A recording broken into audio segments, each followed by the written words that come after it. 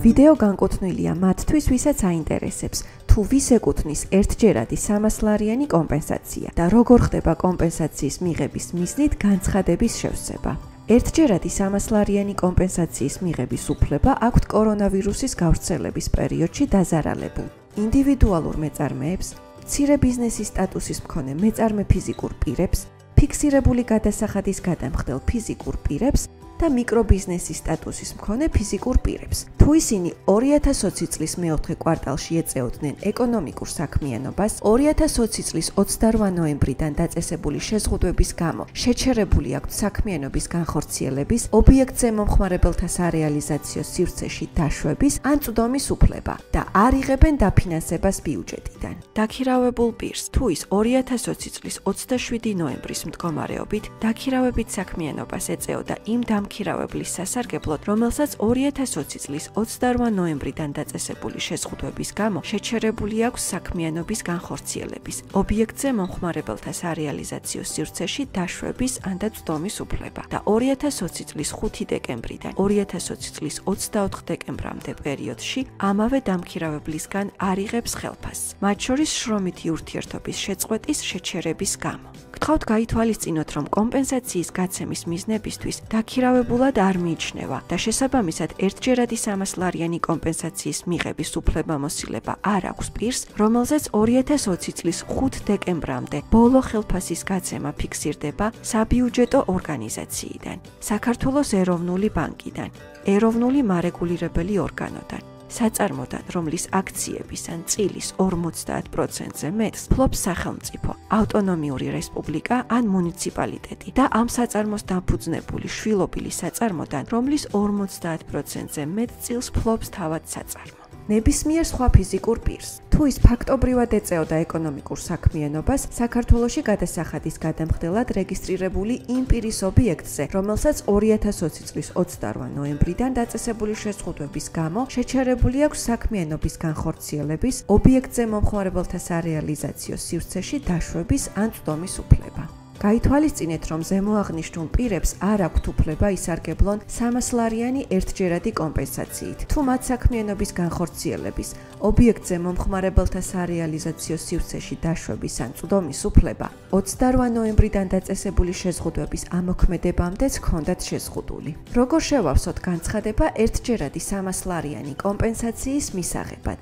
ინდივიდუალური მეწარმეები, ცირე ბიზნესის სტატუსის მქონე მეწარმე ფიზიკური პირები, ფიქსირებული გადა გადასახადის გადამხდელი ფიზიკური პირები და მიკრობიზნესის სტატუსის მქონე ფიზიკური პირები განცხადებას ავსებენ შემოსავლების სამსახურის ვებგვერდზე თავისი ელექტრონული გვერდიდან. ელექტრონულ გვერდზე შესასვლელად დააწექით ღილაკს სისტემაში შესვლა. შეიყვანეთ მომხმარებელი, პაროლი და დააწექით ღილაკს ავტორიზაცია. ელექტრონულ გვერდზე შესვლის შემდეგ შეგიძლიათ სწრაფი ძებნის საშუალებით გახსნათ აპლიკაცია განცხადებები გამოტანილ ჩანართში დააწექით ღილაკს ახალი განცხადების რეგისტრაცია.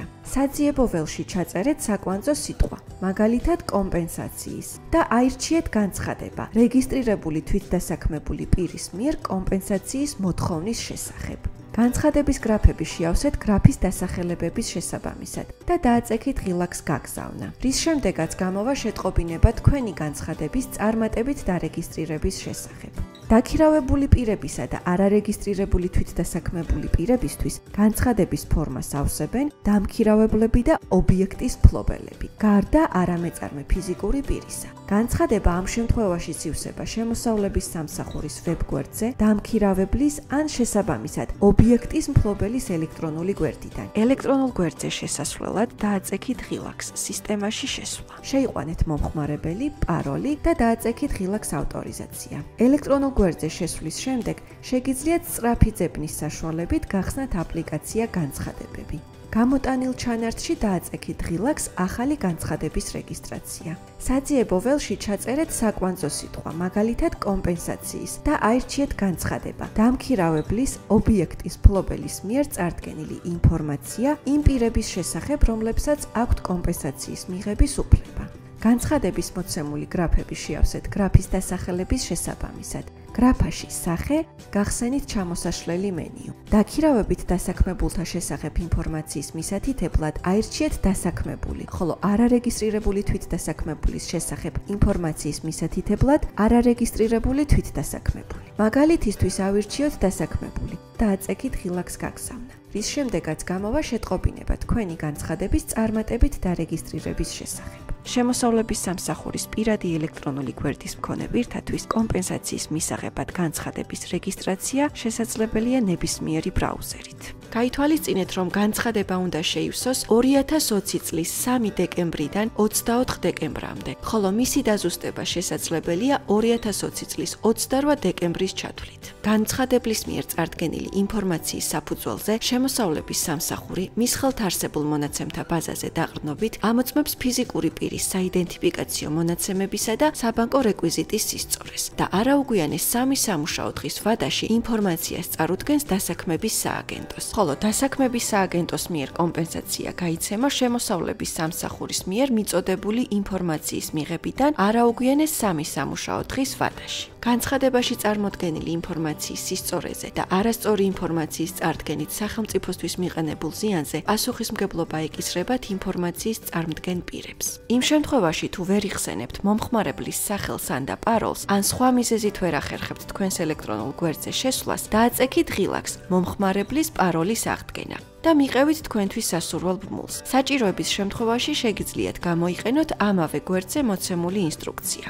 თუ გსურთ სისტემაში რეგისტრირებული ტელეფონის ნომრის შეცვლა, დააწექით ღილაკს და გავიწყდა მომხმარებელი. მიუთითეთ პირადი ან საიდენტიფიკაციო ნომერი და დააწექით ღილაკს ვიდეო ზარის საშუალებით აღდგენა. ხოლო თუ თქვენ ჯერ კიდევ არ ხართ შემოსავლების სამსახურის ელექტრონული გვერდის მომხმარებელი, ახალი მომხმარებლის რეგისტრაცია შეგიძლიათ განახორციელოთ ვიდეო ზარით შემოსავლების სამსახურში ვიზიტის გარეშე. სამუშაო დღეებში 9-დან 18 საათამდე. გაითვალისწინეთ, რომ ვიდეო ზარით პირველადი რეგისტრაციის განსახორციელებლად საჭიროა ინტერნეტში შესული იყოთ ინტერნეტ ექსპლორერის ბრაუზერით და თქვენს კომპიუტერულ მოწყობილობას გააჩნდეს ვიდეო თვალი. ვიდეო ზარით აქტივაციის მიზნით დააწექით ღილაკს რეგისტრაცია. სარეგისტრაციო ანკეტა შეავსეთ გრაფების დასახელებების შესაბამისად. რეგისტრაციის პროცედურები დამატებით შეგიძლიათ ასევე იხილოთ მიბმულ ფაილში. დააწექით ღილაკს რეგისტრაცია.